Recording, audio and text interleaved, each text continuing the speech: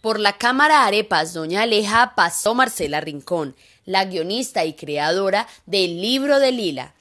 una fantasía que busca resaltar el valor de la amistad y vivir grandes aventuras. El libro de Lila es como el resultado de un trabajo que nosotros venimos haciendo en Fosfenos Media, es una productora caleña que lleva 12 años produciendo contenidos para el público infantil. Nosotros hemos desarrollado diferentes proyectos, entre ellos Guillermina y Candelario, que es una serie animada que se emite por Señal Colombia y que en este momento se está eh, presentando en más de 4 o 5 países en Latinoamérica, que ha tenido como una gran aceptación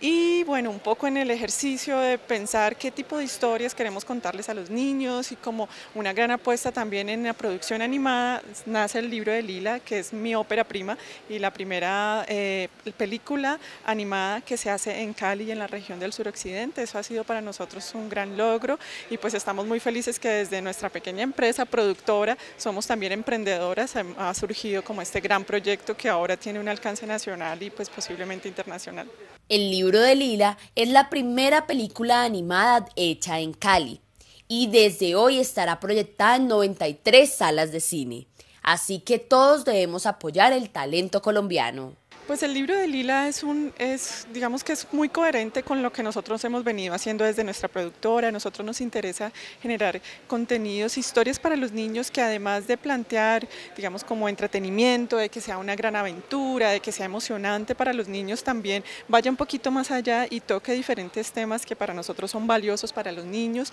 En nuestro ejercicio profesional sabemos que los niños es una audiencia que son muy importantes y a los que muy pocas personas eh, están dedicadas haciendo contenidos y tratándolos como debe ser, entonces nosotros un poco nos ponemos en esa tarea y por eso en, esta película se abordan diferentes temas como el poder de la memoria, la, eh, la fantasía, la amistad y el amor por los libros y la lectura. Este largometraje tuvo la participación de más de 80 artistas en diseño, ilustración y animación. Además, los grandes atributos de la música que reúne dos mundos, los sonidos de la Orquesta Sinfónica Nacional de Colombia con el aporte del compositor musical Juan Andrés Otálura y los sonidos de la marimba de Chonta gracias a Hugo Candelario.